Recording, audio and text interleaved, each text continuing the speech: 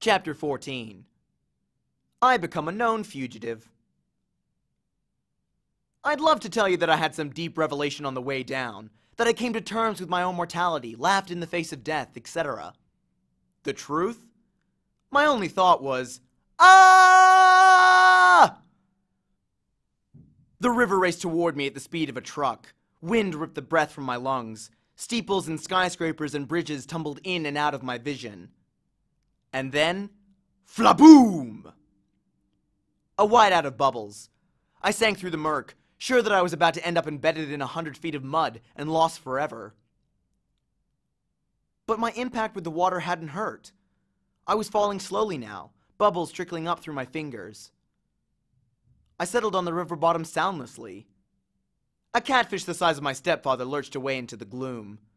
Clouds of silt and disgusting garbage, beer bottles, old shoes, and plastic bags swirled all around me. At that point, I realized a few things. First, I had not been flattened into a pancake. I had not been barbecued. I couldn't even feel the chimera poison boiling in my veins anymore. I was alive, which was good. Second realization I wasn't wet. I mean, I could feel the coolness of the water. I could see where the fire on my clothes had been quenched. But when I touched my own shirt, it felt perfectly dry. I looked at the garbage floating by and snatched an old cigarette lighter. No way, I thought. I flicked the lighter. It sparked. A tiny flame appeared, right there at the bottom of the Mississippi. I grabbed a soggy hamburger wrapper out of the current, and immediately the paper turned dry. I lit it with no problem. As soon as I let it go, the flame sputtered out. The wrapper turned back into a slimy rag. Weird. But the strangest thought occurred to me only last. I was breathing. I was underwater, and I was breathing normally. I stood up, thigh deep in mud. My legs felt shaky. My hands trembled. I should have been dead. The fact that I wasn't seemed like, well, a miracle. I imagined a woman's voice, a voice that sounded a bit like my mother. Percy, what do you say? Um. Thanks. Underwater, I sounded like I did on recordings, like a much older kid. Thank you, Father. No response. Just the dark drift of garbage downriver, the enormous catfish gliding by, and the flash of sunset on the water surface far above, turning everything the color of butterscotch. Why had Poseidon saved me? The more I thought about it, the more ashamed I felt. So I'd gotten lucky a few times before. Against a thing like the Chimera, I had never stood a chance. Those poor people in the arch were probably toast. I couldn't protect them. I was no hero. Maybe I should just stay down here with the catfish, join the bottom feeders. Fum, fum, fum. A riverboat's paddle wheel churned above me, swirling the silt around. There, not five feet in front of me, was my sword, its gleaming bronze hilt sticking up in the mud. I heard that woman's voice again. Percy, take the sword. Your father believes in you. This time, I knew the voice wasn't in my head. I wasn't imagining it. Her words seemed to come from everywhere, rippling through the water like dolphin sonar. Where are you? I called aloud. Then, through the gloom, I saw her. A woman the color of water, a ghost in the current, floating just above the sword. She had long billowing hair, and her eyes, barely visible, were green like mine. A lump formed in my throat. I said, Mom? No, child, only a messenger. Though your mother's fate is not as hopeless as you believe. Go to the beach in Santa Monica. What? It is your father's will. Before you descend into the underworld, you must go to Santa Monica. Please, Percy, I cannot stay long. The river here is too foul for my presence. But I was sure this woman was my mother, or a vision of her anyway. Who, how did you... There was so much I wanted to ask, the words jammed up in my throat. I cannot stay, brave one, the woman said. She reached out, and I felt the current brush my face like a caress. You must go to Santa Monica, and Percy, do not trust the gifts. Her voice faded. Gifts? I asked. What gifts? Wait! She made one more attempt to speak, but the sound was gone. Her image melted away. If it was my mother, I had lost her again. I felt like drowning myself. The only problem? I was immune to drowning. Your father believes in you, she had said. She'd also called me brave, unless she was talking to the catfish.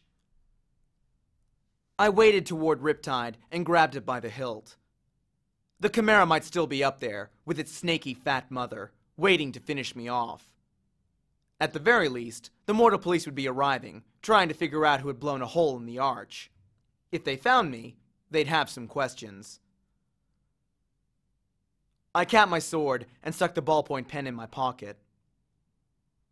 Thank you, Father, I said again to the dark water. Then I kicked up through the muck and swam for the surface. I came ashore next to a floating McDonald's. A block away, every emergency vehicle in St. Louis was surrounding the arch. Police helicopters circled overhead. The crowd of onlookers reminded me of Times Square on New Year's Eve.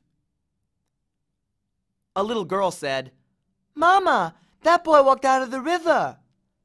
That's nice, dear, her mother said, craning her neck to watch the ambulances. But he's dry. That's nice, dear. A news lady was talking for the cameras. Probably not a terrorist attack, we're told, but it's still very early in the investigation. The damage, as you can see, is very serious. We're trying to get to some of the survivors so we can question them about eyewitness reports of someone falling from the arch. Survivors.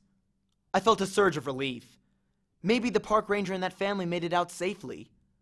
I hoped Annabeth and Grover were okay.